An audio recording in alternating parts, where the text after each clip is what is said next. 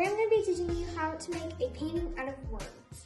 You're going to need a light colored pencil, I would suggest white. You're going to need some water and a canvas, of course, with some worms. Okay? So you're going to start by taking the worms, and if you don't, you can choose if you want to do this or not.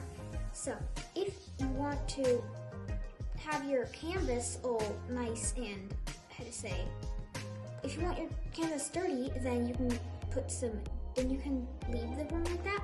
But if you don't, I would suggest cleaning it. Then you let go of your worm on the canvas. It might get wet, but it's fine because it'll dry. It's just water. Now what you gotta do is you gotta follow the worm. You gotta really press hard.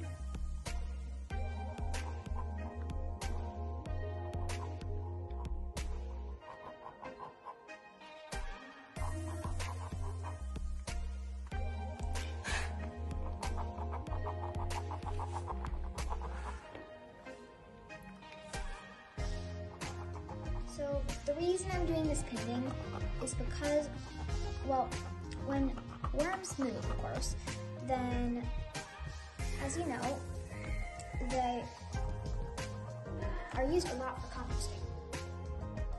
Worms are used a lot for composting. So in this painting, I'm showing how much they move around for composting. You know, I'm showing how they move around in the dirt for the composting in the farms where we get our food from which is very important for us, of course.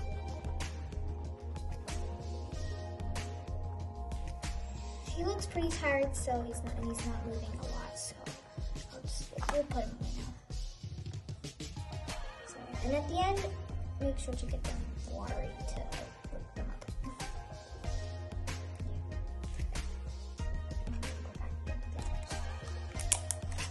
So one last thing, uh, when you do this, I would suggest using fisher worms because we tried this before with some composting worms and it didn't really work that well. This was the final product.